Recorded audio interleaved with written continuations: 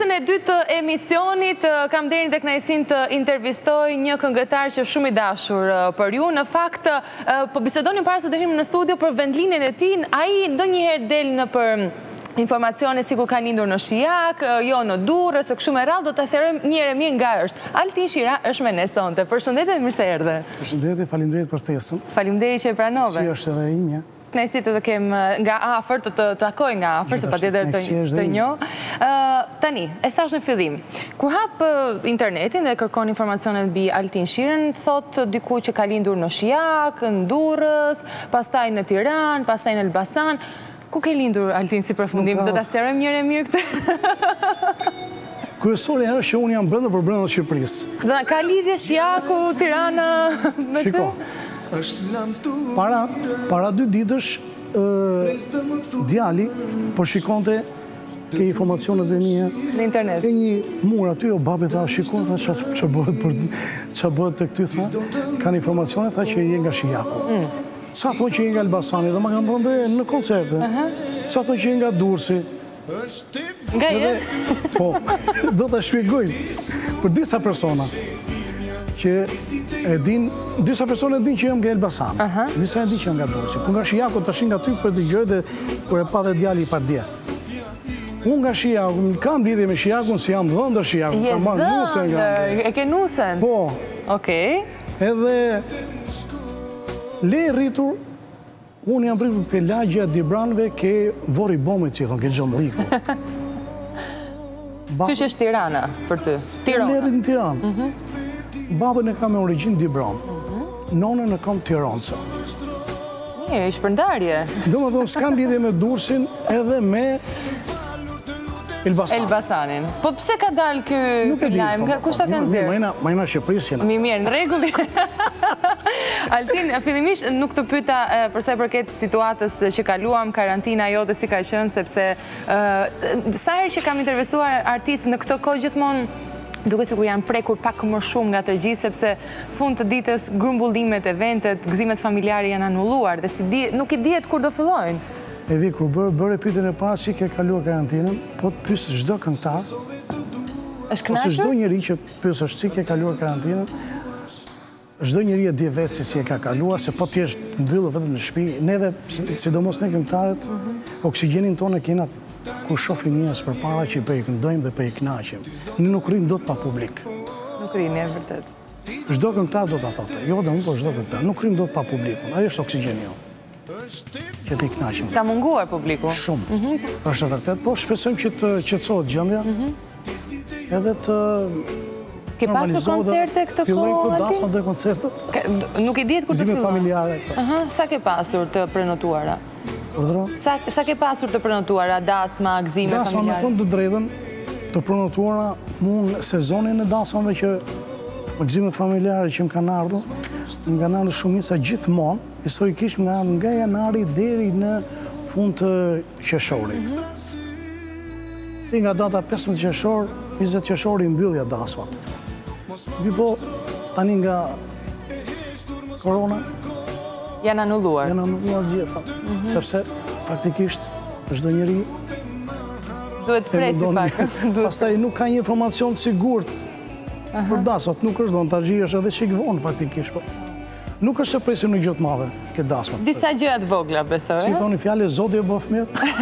Vërtet. Altin, shiko, dua sot të flisim pak a shumë për karrierën tënde, të bëjmë një retrospektivë, të kthehemi pak në kohë, dhe në fakt të kujtojmë pak ato vite që ti ke qenë në shtëpinë e pionerit. Dhe e di që ke qenë instrumentist, fillimisht ke i ke rënë lautës, çiftelisë, kitarës, klarinetës. Do të shpjegoj pak këtë, se kjo është shumë Nuk e kam thënë në asnjë vend, asnjë emision.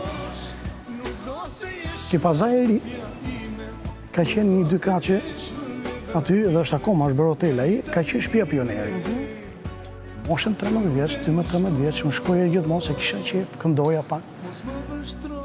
Shkoja aty dhe e mbaj mend sot e kësaj dite atë drejtoreshën. Shkoja gjithmonë aty dhe ke dera të lutem dua të dua të regjistrohem në një vegël muzikore. Mhm. Edhe më pyeste, më, kam shku dy vjet rresht. Çfarë vegle do të regjistrohesh, çfarë ke qejf? Unë kisha qejf fizarmonikë, kisha qejf kitarë.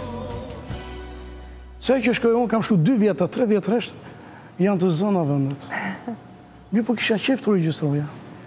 Po mirë, herën e fundit i thash, çfarë ka ndonjë vegël që unë mund të futem? Çifteli. Nga qejfi që kisha, thash, ok, do futem thash, më regjistro. Edhe kam kam studiuar një vit në shtëpinë e pionierit çifteli. Po, e din? Kam kohë që nuk i bie. Nuk i bie, ok. Kam kohë që nuk i bie faktikisht, por Një vit kam studiuar aty. Më mbrapa pastaj, fillova duke mësu kitarën vetë, me shokët që kisha aty në lagje, se kam pas tre katër djem që studionin me vesh kitarën. Me vesh, aha. Edhe... Po, mirë, kush... E mësova, po nuk është se kam shkëlqyer ndonjëherë me kitarën, nuk kam qenë... Ke shkëlqyer me zërin, s'ka po, rëndësi. Kam qenë dikur, mhm. kam qenë një... Katër vite kam punuar më në dasma, në gëzime familjare, me kitarën. Mhm. Ashtu ka qenë koha atëherë. Edhe këndoja pak a shumë. Por nuk shkëlqeva, s'isha një kitarist që i shikoja të tjerë, s'kam qenë një kitarist i mirë, të drejtën. Po aty pastaj fillova të këndoj, e pash veten, u ndjeva më mirë ke kënga. E zbulove veten që po, di të këndosh? Aty u ndjeva më mirë dhe pozicionova te kënga. Aty e pash veten pastaj mirë. Po prap kitara më pëlqen, më pëlqen. Vazhdon i bie ndonjëherë kitarës? Në shtëpi po, dua ta mbaj aty kitarën, ndoshta mund të bie edhe në muaj, po dua ta shoh para syve ta kem aty. Po kam dhe djalin e vogël. Të dy djemt merren me muzikë, po. ë? Kam dhe djalin e vogël që ka studiuar një 9 vjet për violinë në lice. Edhe tani studion, ka dy, ka tre vjet që studion për kitarë. Po përse, përse i fute djemtë në muzikë? Ishte dëshira e tyre, apo ke dashur ti? Dëshira. Kam dashur unë, por sidomos të madhin, ai i madhi qysh në moshën 5 vjeç këndonte dhe kishte qejf muzikën. Edhe me thënë drejtën, të dy janë të mirë për muzikë, të dy kanë shkëlqyer, e kanë veshin shumë të mirë për muzikë. Po zakonisht këngëtarët nuk duan që të merret fëmija me muzikë. Unë para disa, para nja dy, tre, dy muajsh, më bën një pyetje djali i madh. Ju keni O babi e tha si ka shku puna kështu tha më mirë mos i mos na kishe fut për për muzikë tha. Pse tha? Po ja tha. E sheh? Li, ke liceu ça mora mora ke liceu. Fat faktikisht ke liceu ai është formuar mirë. Ai është shumë i talentuar. E tha babi tha do ta lë tha dhe dua të bëj një shkollë tjetër. Dhe vazhdon shkollën në Kanada, në Vancouver, për menaxhim biznesi, ah, menaxhim marketingu dhe e ka gjetur veten. Ka e ka drejtuar të tjetër. Veten mirë aty, po vazhdon dhe me muzikë, dhe është një është një DJ shumë i mirë dhe orkestron. Bile më ka bërë mua shumë, më ka bërë nja katër këngë të jetën. Mhm. Shumë mirë. Ka bërë këngën Do të mbaj si princeshë me Denisa Gjezon, mhm. që është pëlqyer shumë e këngë. Ka krijuar për ty, domethënë. Po, po, po. Aromë dashurie, të them më fal. Dhe tani me thënë të drejtën është duke bërë një këngë, një këngë tjetër. Ajo është Duhet, po nuk do ta themi sot. Nuk do ta thuash. Okej. Do ta themi. Okej, ka ka të bëjë me brezin më të ri, ka të bëjë me një zhanër tjetër? Jo, jam tek jam tek natyra ime. Tek natyra jote. Mirë, tani duke qenë se ti po flise për këngët e tua, unë do të ndalesha pak tek viti 2000, diku aty, ku ti pate këngën dhe le të themi atë bumin, atë hitin, atë suksesin ti më je një pikë loti. Ti gjithmonë je një pikë loti. Tani, më thuaj pak, ishte ai moment që, le të themi, shpërtheu karriera jote artistike në mënyrë që njerëzit të ndalojnë në rrugë, pra të ndryshoi jeta në atë vit, Altin? Me thënë të drejtën, ai ka qenë momenti që unë dilja në rrugë bashkë me nusen dhe shikoja ndryshimin e gjithçkaje. Sepse faktikisht asnjë këngëtar nuk e din se kur do të bëjë bum. Po kur bën një album faktikisht nga 10 këngë një këngë themi e kam domethënë ka qenë ke çdo këngëtar nëse bën një album 10 me 10 këngë një këngë do ngeli e pëlqyer. Faktikisht ai ai album ka qenë shumë i goditur, jo se nuk janë të tjerat. Po. Ka sepse një erdhi një album brapa kësaj, Që ishte kënga fjala e fundit lamtumira, mhm. s'e kisha menduar që do u pëlqente jashtë mase, edhe shumë e shumë këngë tjera. Kurse ke kjo album ka qenë një këngë jugu, që ka nëna një vajzë të bukur, mhm. ka qenë ti gjithmonë një pikë loti, ka qenë kënga Kur u ktheva nga kurbeti, pashë një vajzë me sy si deti.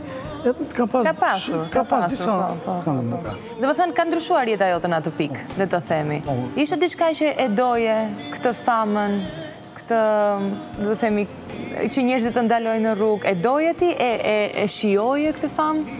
Drejtën e Zotit, në atë, në atë kohë, kur dilja, që dilja dhe me nusen, dhe njerëzit shikonin, shikonin shumë Altini, e i ka uh -huh. E, vite dhe ulja kokën. Ulja kokën? Ulja kokën vite dhe zorë, e kupton. Kurse ta rrinë ndryshë? kënaqësi ishte, sepse ngaqë isha lodhur shumë, mm. duke punuar albumin, dhe mbas asaj me një frut që njerëzit të pëlqejnë është një kënaqësi shumë e madhe. E vërtetë. Atë, ajo m'jepte, m'jepte forcë që të punoj një album tjetër më të mirë. Gjithmonë ashtu i kam punuar albumet. Po mirë, nëse të kujtoj pak ato kohë, kur ti ke punuar albumin tënd, koncertet, le t'i krahasojmë pak kohët, pra vështirësitë që ke pasur atë kohë, me vështirësitë që ti ke sot. Cila është koha më e mirë që ti ke punuar? Shiko, Tjetër që në atë kohë nuk ka qenë, nuk ka pasë shumë këngëtarë, të them të drejtën. Por ne, neve nuk është se na ka munguar puna. Unë për vete nuk e di për të tjerë, po punoj sistematikisht. Jam i knaqur. Çfarë mhm. mungonte atëherë që sot nuk e kemi, ose e kundërta? Çfarë mungonte? Mm. Kushtet? Kushtet, unë s'është se i kam ndjerë shumë, ashtu si ka qenë, atje, shiko, në vitin 2000 ka qenë kaseta. Kaseta. Dhe kur flisje me producentin, gjithmonë flisnim, sepse e merrte një album në bazë të shumës edhe gjithsekush merrte pagesën e vet, Me gjithë se u lodhën autori i tekstit. Po, po, po. Personi që Alban Fortuna, se ai m'ka bërë gjashtë albumet që i ka regjistruar dhe e përshëndes. Videoklipet që i kam realizuar tek Bledi ke BBF-ja, po. shtu ka qenë atë kohë, klipe shumë të bukura në atë kohë, ka qenë klipet më të bukura, dhe ai vazhdon që të bëjë klipe të bukura akoma. Pra, për ty ka qenë mirë gjithmonë, ë? Shumë, domethënë, si ka qenë koha, kemi punuar dhe jam pëlqyer që. Po ndërkohë me menaxhimin tënd, kush është marrë, apo i bën të gjitha ti? Pra ti, kur të marrin telefon për një koncert negocion... Po pyet, po, si duket e ke një informacion. Unë krah kam pas gjithmonë nusen. Qysh nga albumi i parë e deri tek i fundit, pa të s'bëj dot asnjë gjë. E kam pas n'krah gjithmonë. Edhe me veshjen time, edhe jam konsultuar, kur kam marrë një tekst e kam, e kemi parë. Edhe edhe vetë kam shkruajtur, kupton? Por nusen e kam pas n'krah gjithmonë. Gjithmonë, ë? Gjithmonë. Po, domethënë, menaxhimin e bën ti pak a shumë, le të themi. Po, normal. Po mirë, Altin, sa ka ndryshuar... Ashtu ka qenë koha. Ka qenë koha, po. Për të menaxhuar veten, mhm. them të drejtën, në Shqipëri. Ashtu ka qenë koha. Edhe është, deri diku ende. Nuk ka ndryshuar shumë. Mirë, po për sa i përket pagesave? Kanë qenë më mirë atëherë, apo tani? Pagesat? Në atë kohë, në tani janë pak më mirë. Si janë? Janë më mirë. Më mirë. Po. Mhm. Janë shtuar. Janë me ashtu. Jo, shiko. Ti negocion për pagesën tënde? Shiko, janë shtuar, po janë shtuar gjëra tjera tek ne. Që të marrësh një këngë, të kompozuar. Kostot. Ka kosto tjetër. Të mhm. marrësh një tekst kënge, të bukur, prap ka kosto. Po. Domethënë aty, aty janë. Aty, aty. Janë ngritur gjërat, majme edhe, po janë ngritur gjërat, prap aty shkojmë. Po pagesat për shembull në diasporë, apo jashtë Shqipërisë, janë më mirë jashtë apo këtu në Shqipëri? Shiko, unë e kam thënë, këtë, domethënë, nëse ti do të shkosh në Amerikë, ose në Kanada, ose në tjera domethënë, më larg, mhm. me thënë të drejtën, është një çikë më tepër, sepse lodhja është lodhje... Po, normale. Më e madhe. Aha. Oke, je i kënaqur. Ça të ketë dhënë Zoti. Ok. Tani do... Shumë të kemi shëndetin për gjëra tjera. Patjetër, patjetër. Tani më thuaj pak, Altin, si mendon që të veprosh në karrierën artistike? Je duke punuar diçka, album tjetër, se koncertet i presim, po... Për album, nuk bëhet fjalë për për album, me thënë të drejtën. Por unë kam, gjatë kësaj kohe, kam shfrytëzuar pandeminë, me thënë të drejtën, mhm. kam tre këngë. që janë duke u punuar. Njëra është në përfundim, që e kam vetëm. Dy këngë i kam bashkëpunime. Në një moment të caktuar, do t'i themi se do t'i zbulojmë, po tani s'mu plasë do të se në të keka. E kuptoj. Po janë dy bashkëpunime të bukura dhe në të dy këngë, mendoj që janë të bukura, mendoj se do pëlqehen, po tani...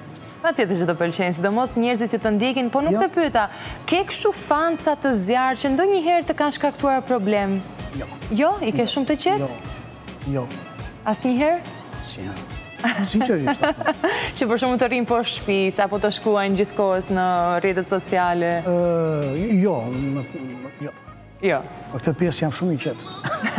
Po bashkëshorten e merr me vete në koncerte?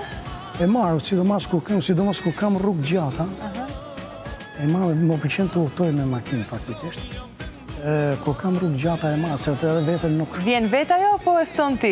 Vjen vetë bashkëshortja për kontroll, apo e fton ti? Jo, për kontroll, jo. Nuk është puna për kontroll, por kur udhëton gjatë faktikisht, më pëlqen ta marr me vete, sepse kur bën rrugë të gjata edhe vetëm, E lus djalin nganjëherë, djalin e vogël, po djali nuk vjen, nganjëherë shkoj vetëm, kur iki vetëm, thënë, rri, vetëm me kasetofonin. S'të pëlqen. S'të pëlqen. Dua të bëj dhe çikë muhabet. Dhe para se ta mbyllim, do doja të të pyesja, çfarë do ndryshoje ti nga tregu muzikor shqiptar, tek zhanri yt? Ka diçka që ty nuk të pëlqen dhe do doje të ishte ndryshe? Te zhanri im? Mhm. Jo, unë do të ishte ndryshe, zhanrin tim dhe nuk do të luaj nga atë. Po çfarë do ndryshoje nga sistemi? Nga sistemi? Shiko, pyes djalin e madh. Edhe, kur kompozuam këngën e fundit tani, kemi kompozuar një, jo, dy këngë përpara, ka qenë një këngë Aromë dashurie. Po. Babi tha, do bëj një këngë, tha, më moderne. Mhm. Më ndryshe, të dalësh më ndryshe. Dhe, faktikisht, E provuam, nuk është këngë e keqe, është shumë e bukur. Por? E punuar shumë bukur nga djali, por nuk është se nuk është pëlqyer, mhm. është pëlqyer si këngë. Unë prapë, domethënë, ndoshta është koka ime që mendon aty, te metrike, zhanrin më tepër, mhm. kupton? Nuk e ndryshon. Ai ka bërë një këngë tani, mhm. që më pëlqen jashtë mase, mua. Shpresoj që fansat ta pëlqejnë, se them, po më pëlqeu mua, Jetë që them se fansave do i pëlqejë.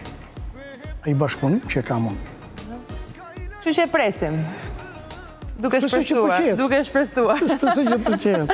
Mirë, Altin ishte vërtet një kënaqësi që të pata në studio. Faleminderit për ftesën. I presim bashkëpunimet e tua, presim koncertet e tua dhe vazhdo qëndro kështu në formë, pozitiv dhe gjithmonë me buzëqeshje. Faleminderit shumë për ftesën. Suksese dhe ju. Faleminderit, gjithashtu. Do të shkojmë në pak minuta publicitet, shihemi pas pak.